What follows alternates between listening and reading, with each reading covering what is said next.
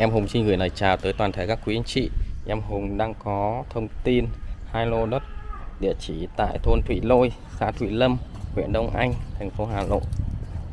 Nằm ở ngay trên mặt đường trục chính hai ô tô tránh này.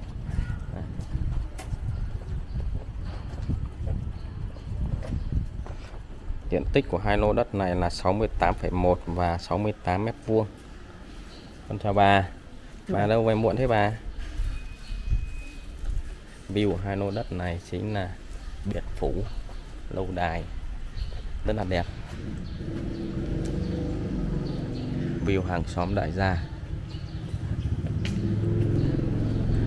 Phong thủy rất là tốt.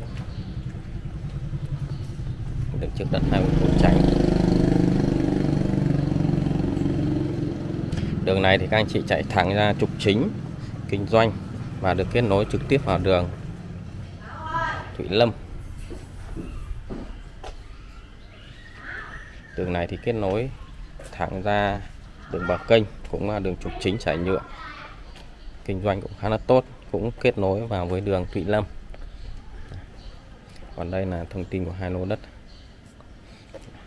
Lô đất này diện tích là 68 68 mét vuông mặt tiền mặt hậu là 4,16 lô đất này thì 68,1 mét vuông mặt tiền cũng à, 4,16 mét vuông. Hình thửa rất là vuông vắn.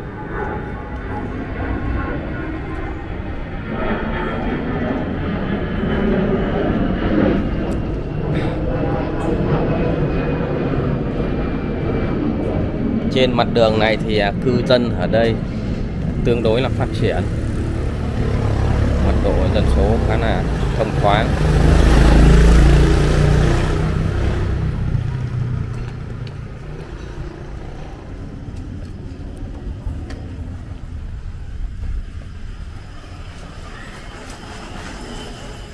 Vị trí này thì cách à, khu đất đấu giá của xã Thủy Lâm đâu đó chừng à, gần 2 km tiện ích thì trường chợ các cấp đầy đủ.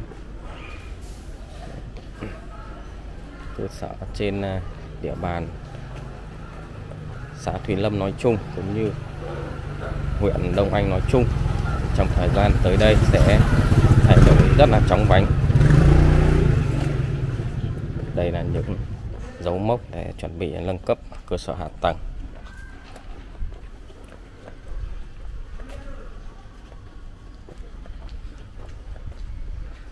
Với những à, thông tin nêu trên các anh chị quan tâm tới bất động sản này liên hệ cho em Hùng theo số điện thoại 0978 444 393 ngoài thông tin bất động sản huyện Đông Anh và huyện Sóc Sơn, các anh chị cần hỗ trợ xử lý các thủ tục pháp lý liên quan tới bất động sản cũng như cần hỗ trợ vay vốn. Các anh chị có thể liên hệ trực tiếp cho em Hùng theo số điện thoại hoặc bình luận ở bên dưới phần bình luận của video này. Video ngày hôm nay của em xin kết thúc tại đây. Em Hùng xin à, chào và hẹn gặp lại các quý anh chị ở những video lần sau.